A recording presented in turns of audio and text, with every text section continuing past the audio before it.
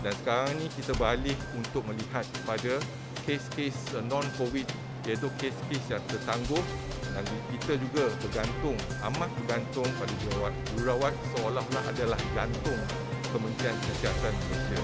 Tanpa jurawat kita tak dapat menjalankan pembedahan dalam uh, Dewan Kedah jadi jurawat amat penting uh, untuk uh, memberi bakti dan gayakan perkhidmatan Kementerian Kesihatan.